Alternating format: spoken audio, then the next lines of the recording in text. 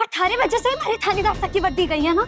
अब देखना थारी वजह से हमारे थानेदार सा की वर्दी वापस उन्हें लौटाई जाएगी।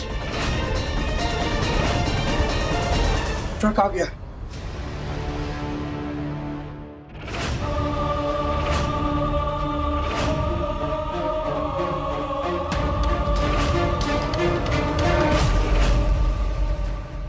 उठा के से दो उस ट्रक में बहुत बड़ी बड़ी बातें कर लिए।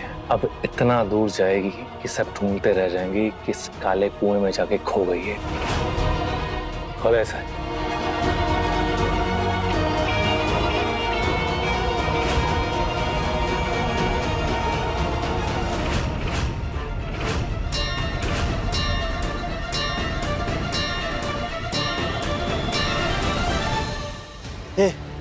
मैं इधर ढूंढता हूँ।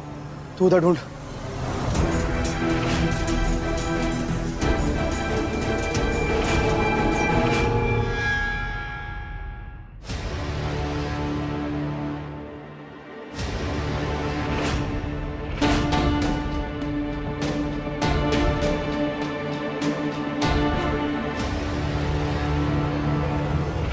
फ़िक्र मत कीजिए। मैं वर्णिका को कुछ नहीं होने दूँगा कुछ नहीं होगा वर्णिका को। तुम्हारा जन्म से मैं थारी होली आप लोगों ने शायद उसकी मार सह ली होगी। पर मैं अलग हूँ। अगर मुझ पर किसी ने भी हाथ उठाया तो पलटकर मुझे भी हाथ उठाना आता है।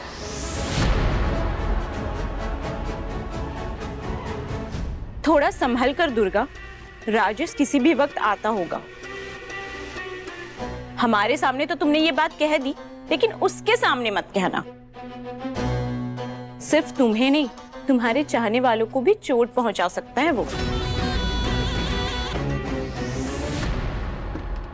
सबको बुरा लग रहा है बड़े पापा। जो भी हुआ ये होना नहीं चाहिए। अपने आप तो हुआ नहीं अनुभव। अब ये कैसे हुआ ये तो सिर्फ़ दुर्गा और राजेश ही बता सकते हैं। एक लड़की जिसे पढ़ना इतना पसंद है, जिसका सारा फोकस डॉक्टर बनने पर था, उसने अचानक से घर बसा लिया। ना जाने क्यों मुझे इस सब बातों पर विश्वास नहीं हो रहा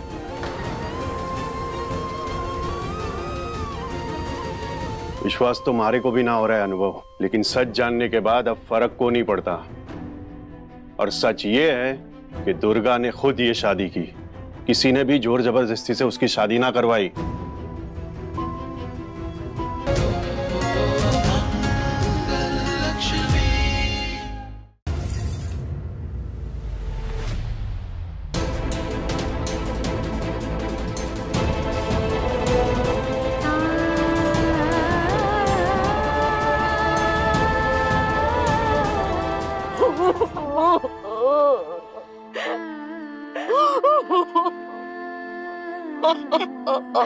अम्मा, आपको ये करने की ज़रूरत नहीं थी। तो ये क्यों किया? आपने ये सोचकर तो नहीं किया ना कि मेरे बिना बच्चों का क्या होगा? नहीं, मंगल। हमें ये बहुत पहले कर देना चाहिए था। पहले ही हमने तुमसे इतनी बड़ी बात छुपाकर बहुत बड़ी गलती की है। तुम्हारा भरोसा तोड़ा है। अब हम दूसरी गलती नहीं करना चाहते हैं। तुमने बिल्कुल सही किया कुसुम।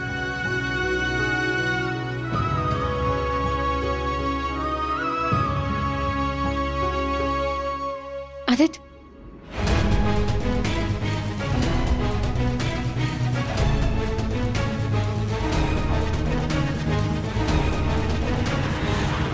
ये लो आदित्य। तुम्हारा सामान पैक कर लिया है। निकलो यहाँ से।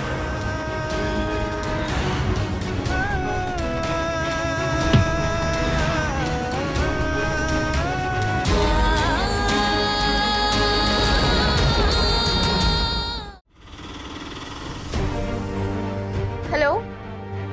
हाँ मैं पहुँच गई हूँ यहाँ। तुम कहाँ हो? कौन से फ्लोर पे आना है? हेलो हेलो आवाज़ नहीं आ रही है। अ, वो अ, मनोज मनोज कौन से फ्लोर पे रहते हैं? कौन मनोज? मनोज?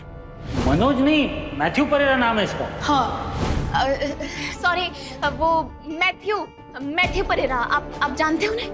छठा माला 603 थैंक यू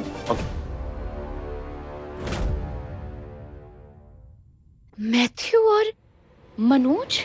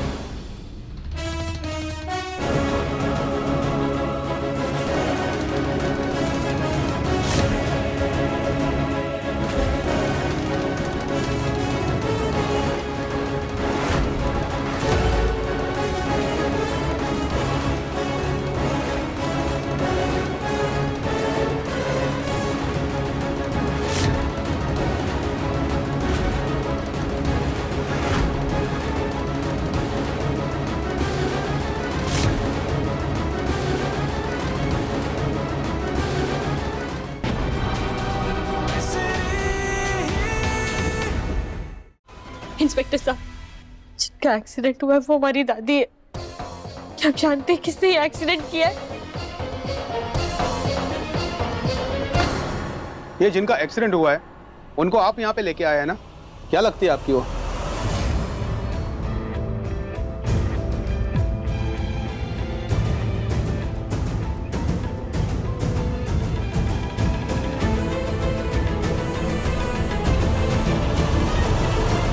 आप तो ऐसे चुप और डरे हुए से हैं, जैसे कि एक्सीडेंट आपसे ही हुआ हो।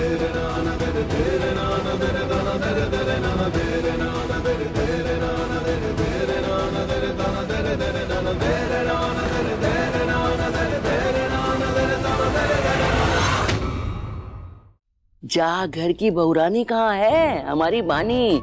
देखो भाई कल करवा चौथ है और मैं बा के लिए अपने हाथों से सरगी बनाऊँगी। यही सही भी है माँ क्योंकि आप मेरी वानी को बहुरानी जो मानते हैं और जो मेरी वानी को बहु मानती है सरगी भी उसी को बनानी चाहिए। पर वो है कहाँ? पता नहीं माँ मेरी वानी बहुत परेशान है। राघव के बर्ताव की वजह से। हेलो? मैडम आपके कार्ड में एक लाख रुपए के ट्रांजैक्शन हुए हैं। ये उसी की कंफर्मेशन कॉल है। ये ट्रांजैक्शन आपने की है। क्या? एक लाख रुपए का ट्रांजैक्शन? कहाँ? ये ट्रांजैक्शन मथुरा रूरल हॉस्पिटल में हुए हैं। मथुरा हॉस्पिटल में एक लाख रुपए का ट्रांजैक्शन किया है। गुड़िया क्या हुआ? बानी ठीक तो है? पता नहीं माँ। फ़ोन करती हूँ। माँ वाली फ़ोन नहीं उठा रही।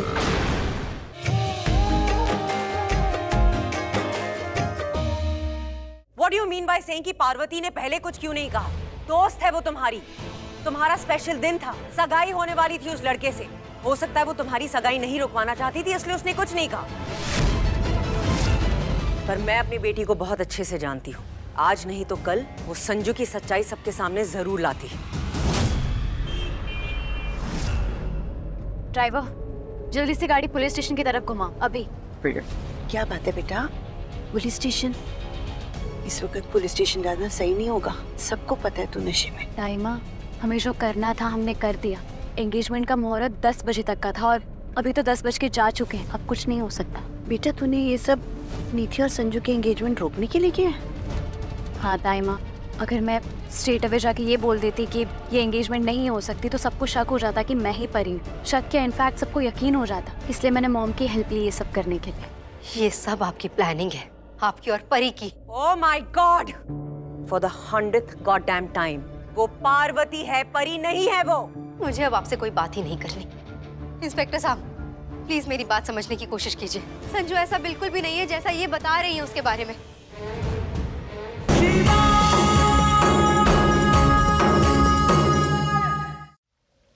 आप निश्चिंत होकर जाइए। पूरे बारात का स्वागत श्रद्धा और सम्मान से किया जाएगा। लीजिए, शिव शक्ति भी आ गए।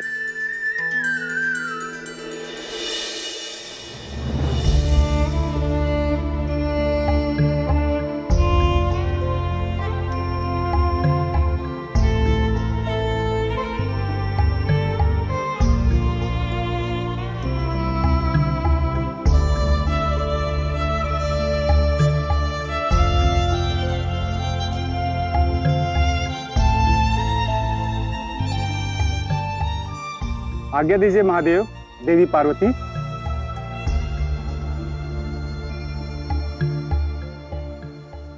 बताइए महादेव क्या क्या तैयारियाँ की जाए?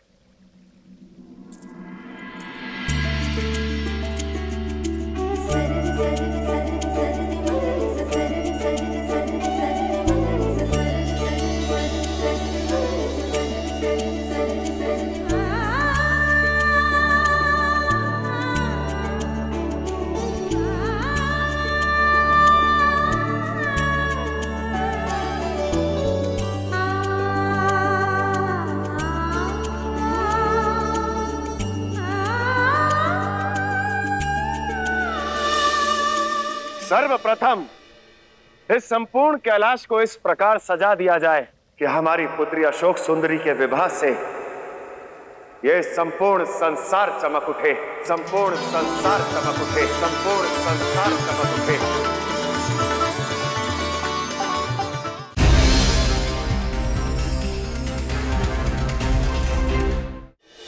देविका आज तक तुम्हारे हर फैसले में मैंने तुम्हारा साथ दिया। जब तुमने कहा कि कृतिका की शादी तीर्थ से होनी चाहिए तो मैंने तुम्हारी बात मानी। पर अब बस।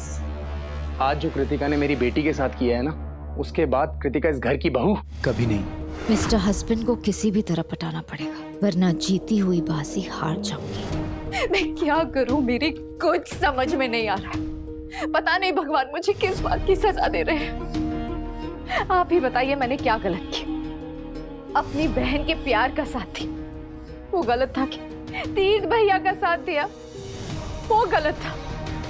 तीर्थ भैया उस चाट वाली को अपनी दुल्हन बना के ले आए। तब भी मैंने उसका गृह प्रवेश किया। क्या वो गलत था? मेरी छोटी बहन, जो बिल्कुल मेरी बेटी की तरह है, उसने मुझे थप्पड़ मार दी यहाँ तक कि मेरे पापा ने मेरी तिलांजलि दे दी और आप भी मुझसे गुस्सा हो रहे हो।